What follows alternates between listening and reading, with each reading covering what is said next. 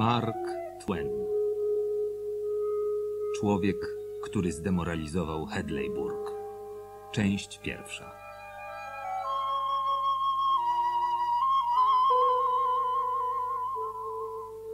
Cała ta historia wydarzyła się wiele lat przedtem, zanim zostałem burmistrzem Hedleyburga. W tym czasie właśnie ja pełniłem tę zaszczytną funkcję. Moje miasteczko słynęło jako najuczciwsze i najrzetelniejsze na całej kuli ziemskiej i z tej opinii było dumniejsze niż z czegokolwiek innego. Mieszkańcom Hedleyburga tak bardzo zależało na utrzymaniu tej reputacji, że już niemowlęta w kołyskach uczyli uczciwego postępowania. Nauki moralne były stopniami, po których prowadzono dziecko w latach przeznaczonych na wychowanie, aby wyrosło na kryształową jednostkę.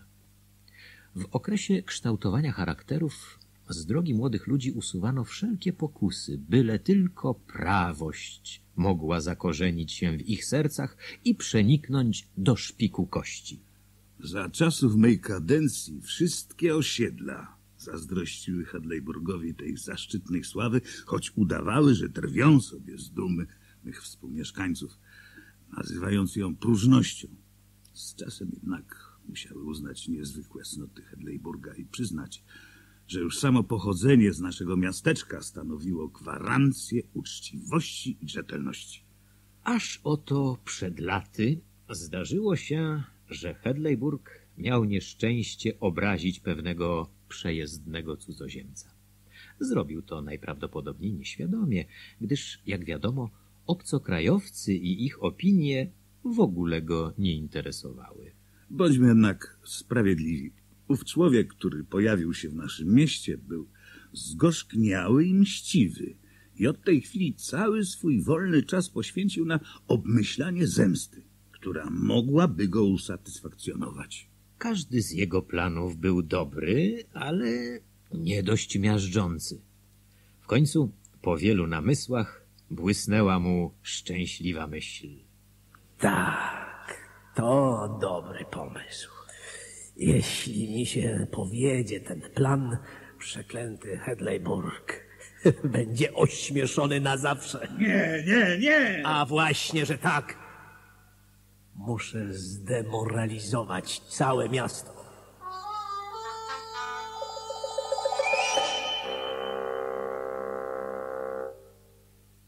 Minęło sześć miesięcy i podróżny wrócił do Hedleyburga. Późnym wieczorem, lekkim powozikiem, zajechał pod dom starego kasjera banku.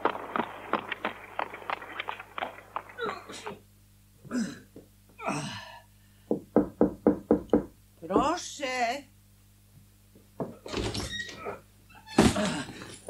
Ojej. O nie, nie, nie, nie, nie, proszę. Proszę, niech pani nie wstaje. A nie, nie chcę pani przeszkadzać. O, nie ma pani pojęcia, jaki jestem szczęśliwy, że wreszcie ten worek jest dobrze ukryty. Ale nie... Czy mógłbym zobaczyć się z pani mężem? O, przykro mi, ale to niemożliwe. Mąż pojechał do Brixton i najpewniej nie wróci przed ranem. No cóż, trudno.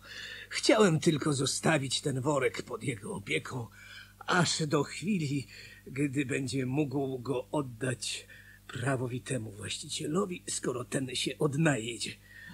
Ależ panie, ja pana wcale nie znam. O co panu chodzi? O, widzi pani, jestem cudzoziemcem i dlatego ani pani, ani jej szanowny małżonek nie znacie mnie. Przyjechałem do waszego miasteczka jedynie po to, by spłacić dług, jaki zaciągnąłem wobec jednego z jego mieszkańców. Za chwilę odjadę stąd i nie ujrzycie mnie nigdy więcej. A- ale- ale nie, nie, nie, wszystko wyjaśni pani. O, list przyczepiony do worka. Żegnam.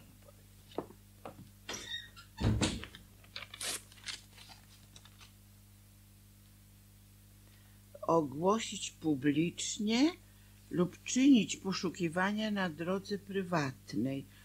Pozostawiony przeze mnie worek zawiera zawiera dolary w złocie wagi 165 funtów i czterech łutów. Panie, zmiłuj się nad nami. I drzwi niezamknięte.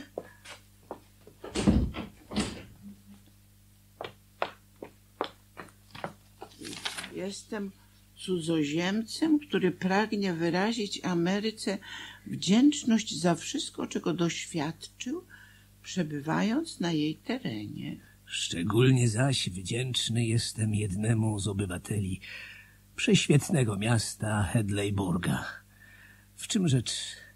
Zaraz postaram się wyjaśnić. Otóż przed rokiem należałem do grona zawodowych graczy. Mówię, należałem. Pewnej nocy zrujnowany, bez grosza przy duszy, trafiłem do tego miasteczka. Korzystając z ciemności, prosiłem o wsparcie, gdyż wstydziłem się żebrać w dzień. I oto trafiłem na dobrego człowieka. Dał mi dwadzieścia dolarów i wypowiedział słowa, które na zawsze zachowałem w pamięci, bowiem uratowały mnie one. Dzięki temu, co usłyszałem od nieznajomego, nie będę grał już nigdy. Chcąc wyrazić swą wdzięczność, wzbogaciwszy się, pragnę obdarować mego dobroczyńcę.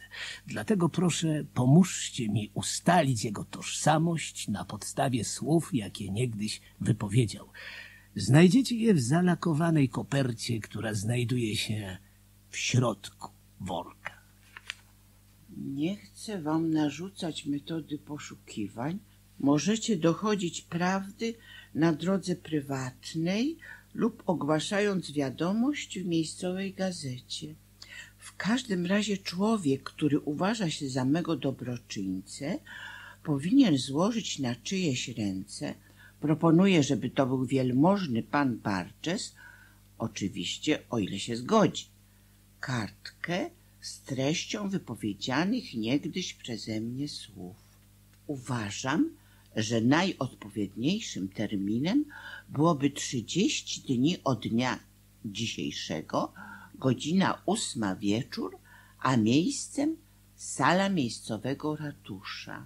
Tamże i w tym czasie niechaj pan Barges zdejmie pieczęcie z worka, otworzy go i sprawdzi, czy treść kartki zgadza się ze słowami, które złożyłem w środku. Jeżeli tak, niechaj wręczy memu dobroczyńcy pieniądze wraz z wyrazami serdecznej wdzięczności. Miasto wasze jest tak uczciwe i nieskazitelne, iż wiem, że bez obawy mogę mu zaufać. Kto biednemu chleba nie żałuje, ten nigdy na tym nie traci. Ach, gdyby to był mój mąż, te pieniądze tak by nam się przydały. Ale to niemożliwe. To nie mógł być on. A, to, to ty. O, o, jak dobrze. Jestem potwornie zmęczony, po prostu gonię resztkami sił. Ten przeklęty brak pieniędzy. Gdyby nie to, czy musiałbym orać w służbie innych, być niewolnikiem, podczas gdy bogacze siedzą sobie wygodnie w swoich wytwornych domach. Usiądź, usiądź, Edwardzie. Strasznie mi cię żal. Ale podziel się jednak, że zamiast bogactwa mamy nasze uczciwe imię. Tak, tak, tak. I to nam musi wystarczyć. Nie, nie zwracaj uwagi na to, co mówię, po prostu jestem zmęczony. Co to jest? Co to, co to za worek? Żona opowiedziała mu o wszystkim. I mówisz, że ten skarb waży 160 funtów? Czy wiesz, Mario, że w takim razie wart on jest 40 tysięcy dolarów? Przecież to majątek. W całym mieście nie ma nawet dziesięciu takich ludzi, którzy by byliby tak bogaci. Takie pieniądze, takie pieniądze. I nikt nie wie. Uspokój się, mój drogi, uspokój się. Wystarczy, że zakopiemy złoto i spalimy list. A jeśli ten szuler wróci, powiemy mu, że nigdy w życiu nie słyszeliśmy ani o panu, ani o pana worku. O, twoje żarty wcale nie są śmieszne. Przecież jesteśmy uczciwi. Tak, no tak, tak, tak, masz rację. Muszę jak najszybciej zanieść list do Koksa, żeby zdążył wydrukować go w jutrzejszej gazecie. Jak powiedział, tak i zrobił. A gdy wrócił do domu, długo jeszcze rozmawiali z żoną o tym, co się wydarzyło. Jedna myśl nie daje mi spokoju. Kto w naszym mieście mógłby dać nieznajomemu dwadzieścia dolarów? Znasz kogoś takiego? To mógł być tylko Barclay Gordon. No tak, tak, tak. Tylko on mógłby zrobić coś takiego. To w jego stylu był taki rozrzutny. A to prawda. O nikim innym nie da się tego powiedzieć. Pamiętasz, co Gordon mówił zawsze o mieszkańcach naszego miasta? Że są ograniczeni i skąpi do obrzydliwości. Powtarzał to aż do dnia swojej śmierci. No, Dlatego go nienawidzili. Tak, ale, ale on nie dbał o to. Zdaje się, że był najbardziej znienawidzonym człowiekiem w Hedleyburgu. Aha, z wyjątkiem pastora Bargesa. No tak, ale, ale Barczysz zasłużył na to i, i nigdy już nie dostanie u nas parafii. Żeby nie wiem, jak podłe było nasze miasteczko, to jednak wie jeszcze, jak ocenić takiego. Czy nie wydaje ci się dziwnie, Edwardzie, że cudzoziemiec powierzył pieniądze właśnie jemu? No tak, tak, tak, to jest właściwie... No to, to co właściwie? Czy, czy ty wybrałbyś go? Mario, Barges nie jest złym człowiekiem. Przyczyną jego niepopularności była tylko jedna sprawa, która narobiła tyle hałasu. Rzeczywiście, jedna sprawa. Jakby nie dość było tej jednej sprawy. Dosyć, już dosyć. On wcale nie był winien, daję ci na to moje słowo. Skąd masz tę pewność? Widzisz, byłem jedynym człowiekiem, który wiedział o jego niewinności. Mogłem go uratować, ale nie miałem odwagi tego zrobić. Pamiętasz, jaki nastrój panował wtedy w mieście? Wszyscy zwróciliby się przeciwko mnie. Czułem się podły, a jednak nie śmiałem stawić mi czoła. To na pewno masz rację. Zrobilibyśmy sobie wrogów z ludzi, a pastorowi i tak by to nic nie pomogło. Ale że on sam nie powołał cię na świadka. On? On nie podejrzewa, że mogłem go wtedy uratować. E, Może nie powinnam tak mówić, a, ale to lepiej. To nie koniec całej tej historii. Kiedy miasto postanowiło poddać Bargesa hańbiącej karze, sumienie, sumienie tak mnie gryzło, że po, poszedłem do niego i poradziłem mu, żeby wyjechał z miasta do czasu, gdy cała sprawa nie przycichnie. O Boże. Gdyby ktoś o tym się dowiedział. Przestań. Do dziś cierpnę na samą myśl o tym. Owej nocy nie spałem wcale ze zmartwienia. Gdy jednak po kilku dniach przekonałem się, że nikt mnie o nic nie podejrzewa, poczułem zadowolenie z mojego postępku i czuję je do dziś. Ja również, chociaż nie mogę opanować przerażenia. Co się stanie, jeśli któregoś dnia wszystko wyszłoby na jaw? Nie wyjdzie, Dlaczego? ponieważ wszyscy uwierzyli, że zrobił to Goodson. Poszli nawet do niego z oskarżeniem, ale kazał im się wynosić na zbity pysk ze swego domu. Takie zachowanie było typowe dla Goodsona. A teraz, kiedy umarł, jestem pewny, że nic nam nie grozi. Mam nadzieję, że tak jest, mój drogi. Nie mogę przestać myśleć o tych pieniądzach. Gdyby należały do nas. Ale nie należą. Zresztą zawiadomiłem już o nich Koksa. Jutro całe miasto przeczyta w gazecie, co się stało. Jutro? Idę do drukarni. Może jeszcze zdążę. Nie budź nas, panie, na pokuszenie. Ale, ale jesteśmy tak biedni, tak biedni. Nie budź nas. A, a, a w końcu, któż by na tym ucierpiał? Nikt.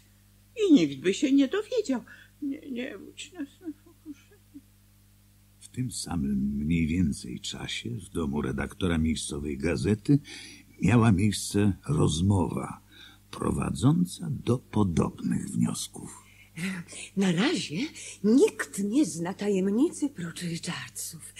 i nas. Nikt.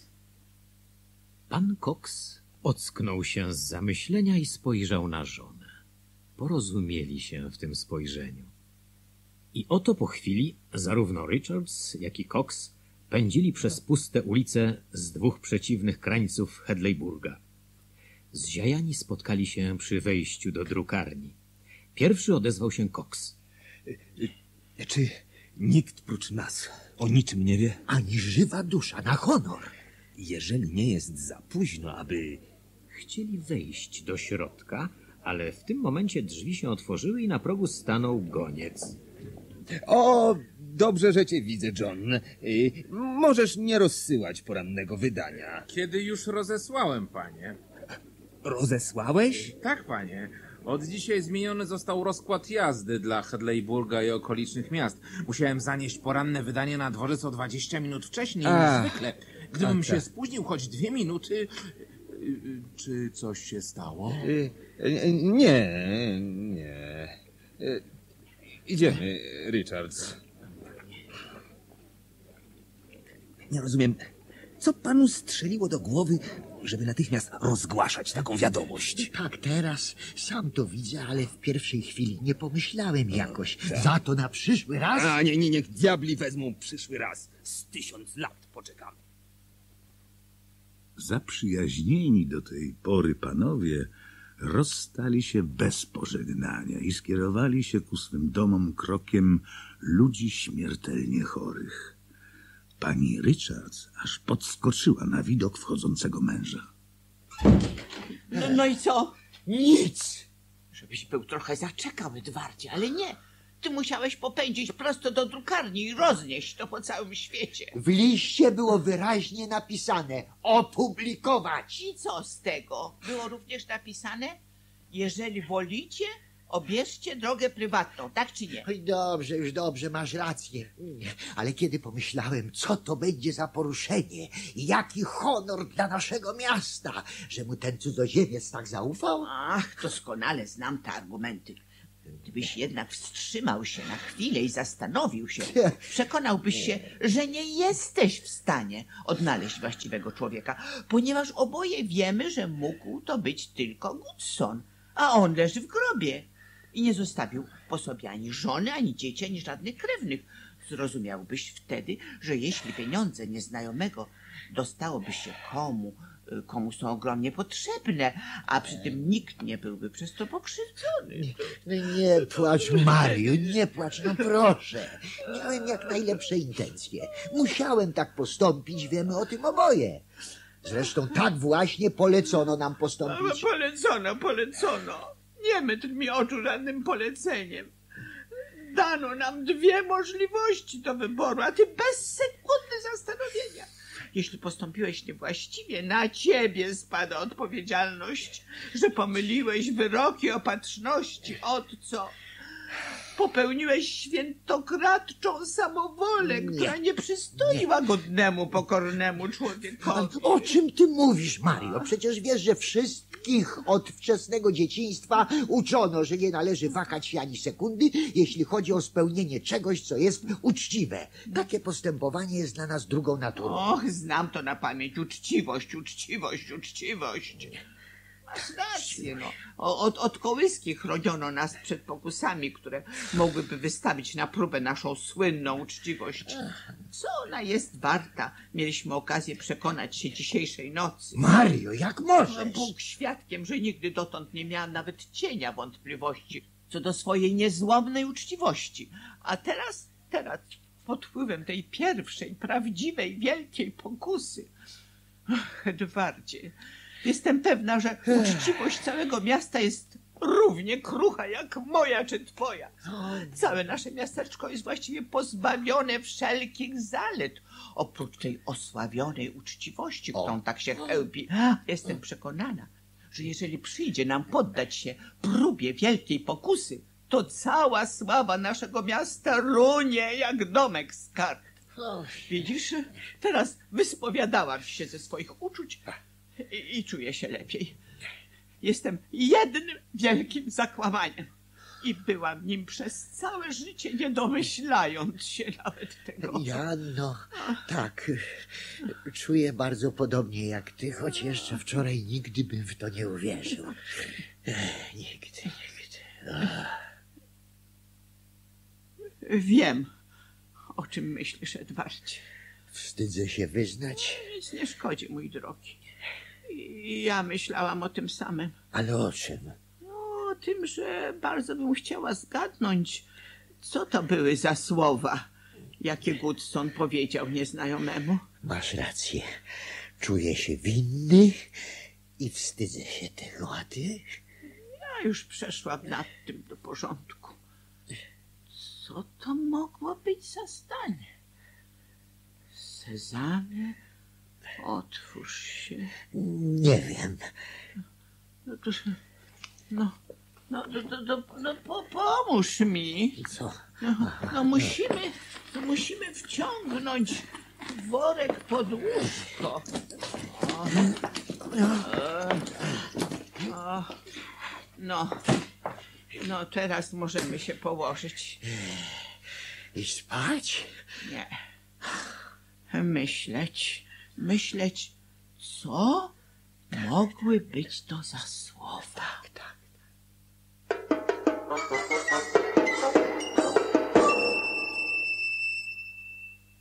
Tej nocy pociągi rozwoziły po okolicy gazetę hedlejburską, w której wydrukowano list cudzoziemca, a agencje telegraficzne rozpowszechniały go dalej po całej Ameryce. Następnego ranka nazwa nieskazitelnego miasteczka była na ustach wszystkich, od Montrealu do Zatoki Kalifornijskiej i od lodowców Alaski aż po gaje pomarańczowe na Florydzie. Miliony ludzi mówiły o nieznajomym i jego worku ze złotem. Zastanawiano się, czy odnajdą właściwego człowieka i z upragnieniem oczekiwano nowych wiadomości, które miały rzecz wyjaśnić. Rankiem obudziliśmy się zdumieni swą wszechświatową sławą, wzruszeni, uszczęśliwieni i próżni. Tak, bardzo próżni. Ja i osiemnastu innych najpoważniejszych obywateli Hedleyburga wraz z żonami wylegliśmy na ulicę. Ściskaliśmy sobie ręce i gratulowali. Ten dzień miał wprowadzić do słownika nowe słowo Hedleyburg, synonim nieskazitelności. Oblegani przez dziennikarzy z całego kontynentu udzielaliśmy wywiadów, pozwalaliśmy się fotografować, słowem puchliśmy z dumy. Mniej więcej po tygodniu oszołomienie dumą i radością ustąpiło miejsca uczuciu słodyczy i głębokiego zadowolenia. Na wszystkich twarzach malowało się spokojne i świątobliwe szczęście. A potem przyszła wielka zmiana. Stopniowo robiliśmy się coraz bardziej zamyśleni, roztargnieni i zgorzkniali. W tym mniej więcej czasie, w godzinach przeznaczonych na spoczynek, w naszych domach rozlegały się podobne słowa. Ach, gdybym tylko się domyślił, co to mogła być za uwaga, którą zrobił Wood. To mogła być za uwaga, którą tylko się domyślił, co to mogła być za uwaga, którą zrobił Wood. Gdybyśmy tak mogły zgadnąć. W ten sposób minęły trzy tygodnie. Pozostał więc już tylko jeden tydzień ostatni. Było to w piątek. Nie, nie, w sobotę. Dawniej w ten dzień robiono zakupy, ulice pełne były zgiełku, ruchu, wesołości. Teraz opustoszałe. Wyglądały raczej ponuro. Richard i jego żona siedzieli w saloniku przygnębieni i zamyśleni. Zobaczę, kto to. Poczta do państwa. Dziękuję. Charakter pisma nieznany? O Boże! y, od kogo ten list? To, to, to, to niemożliwe, niemożliwe. Boże, jaka jestem szczęśliwa. Dlaczego? Po, po, posłuchaj. Nie, nie znacie mnie, ale to nieważne. Właśnie wróciłem z Meksyku i w domu opowiedziano mi o tym wydarzeniu. Oczywiście nikt w waszym miasteczku nie wie, kto i co powiedział nieznajomemu. A tak się składa, że ja wiem. Właśnie owej nocy zatrzymałem się w domu Goodsona, z którym łączyła mnie pewna zażyłość i byłem świadkiem tamtej rozmowy.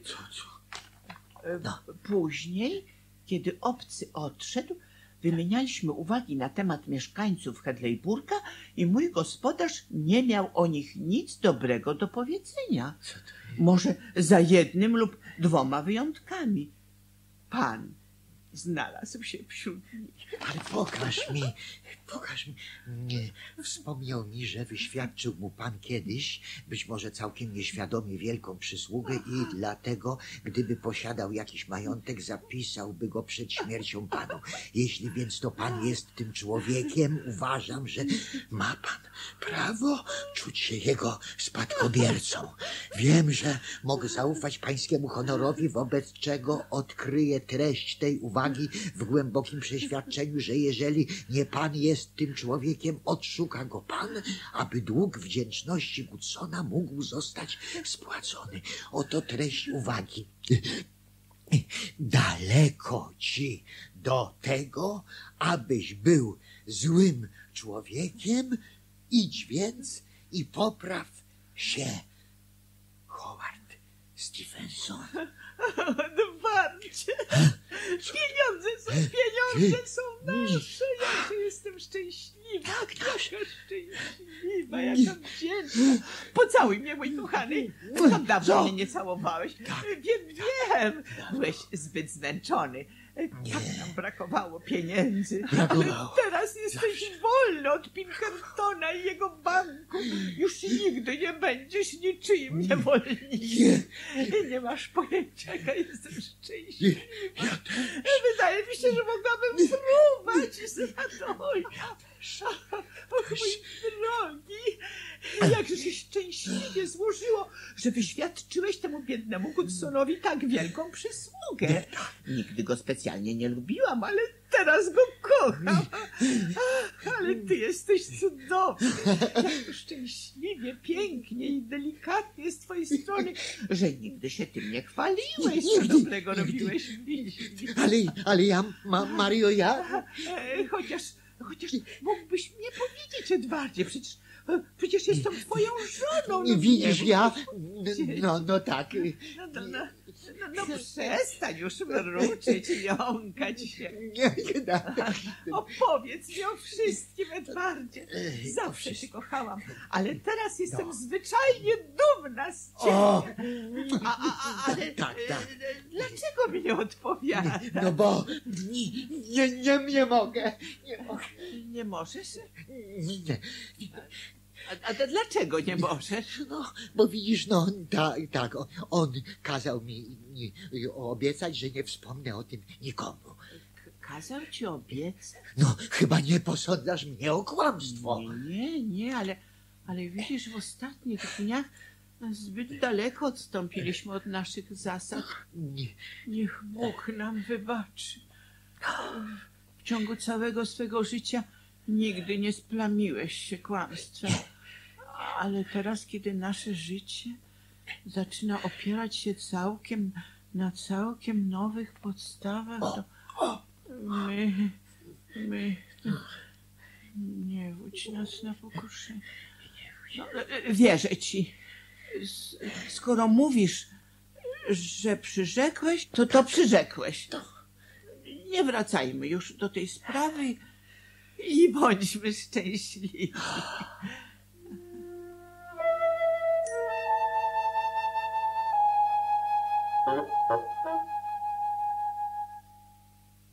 Tej nocy po raz pierwszy od trzech tygodni małżeństwo Richardsów usnęło w miarę wcześnie. Ale myliłby się, kto by sądził, że mieli spokojne sny. no dobrze. Skłamałem. I co z tego? Czy ja jeden to robię? Przyjrzyjmy się Marii. Cóż czyniła wtedy, gdy ja biegałem przez ulicę w uczciwym zamiarze? Jakie były wtedy jej uczucia? Lamentowała, że nie zniszczyliśmy dokumentów i nie przywłaszczyliśmy sobie pieniędzy. Czy kradzież jest lepsza od kłamstwa? Nie.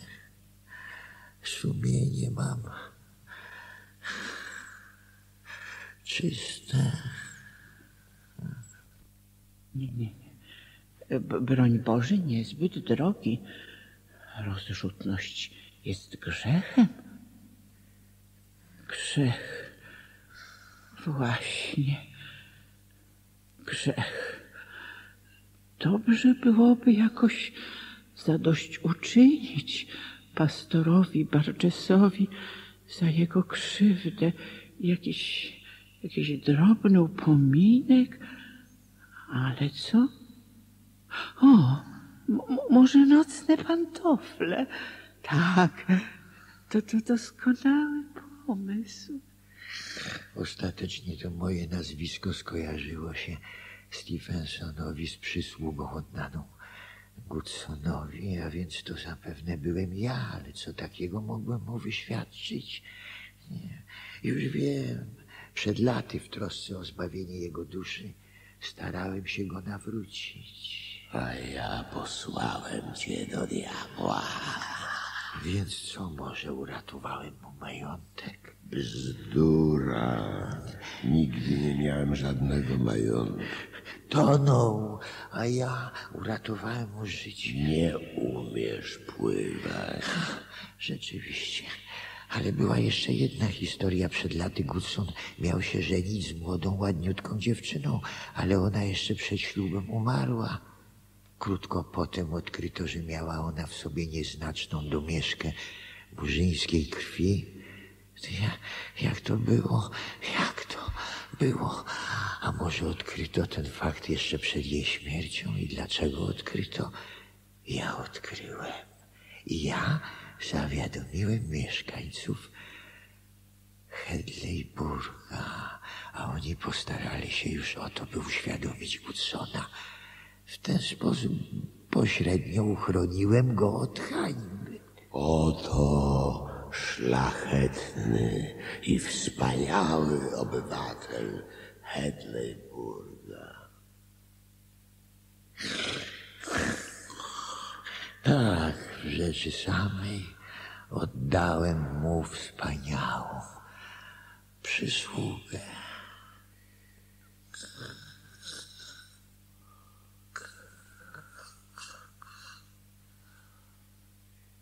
I tak w oczekiwaniu wspaniałego jutra oboje Richardsowie zapadli w głęboki sen. Mogli. Nie wiedzieli bowiem o tym, że tego samego wieczoru listonosz oddał identyczne listy pozostałym osiemnastu najpoważniejszym obywatelom w mieście. W ich domach miały miejsce podobne rozmowy, podobne myśli kłębiły im się w głowach. Ale teraz na szczęście wszyscy byli pogrążeni w spokojnym, krzepiącym śnie.